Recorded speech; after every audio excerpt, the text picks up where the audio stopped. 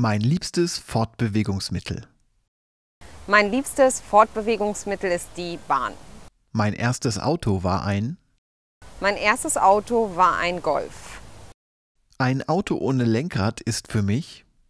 Ein Auto ohne Lenkrad klingt für mich irgendwie noch surreal, obwohl es das ja gibt.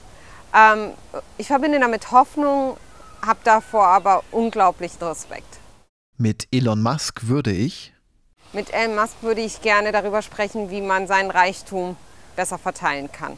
Die größte Entfernung, die ich je zurückgelegt habe, war eine Reise im Rahmen der Bundesratspräsidentschaft ähm, nach Australien.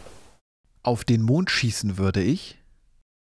Alle Nazis, alle Hater, alle Spalter, all jene, die meinen, dass Leute wie ich nicht in dieses Land gehören. Bevor ich sterbe, möchte ich meinen Sohn, der gerade 14 Monate alt ist, sehen, wie er glücklich verheiratet ist, Kinder hat und sich nicht immer hinterfragen muss in Bezug auf seine Herkunft oder seine Religion. Turi 2 Edition. Inspiration für Meinungsmacherinnen.